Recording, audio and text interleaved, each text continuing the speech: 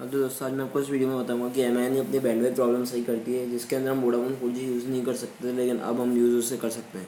चलो तो मैं आपको एक बार यूज़ भी करके दिखा देता हूँ।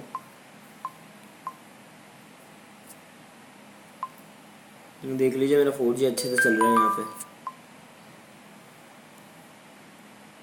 धन्यवाद आप ये, अगर आपको वीडियो अच्छी लगी हो तो आप इसे सब्सक्राइब करें और लाइक करें।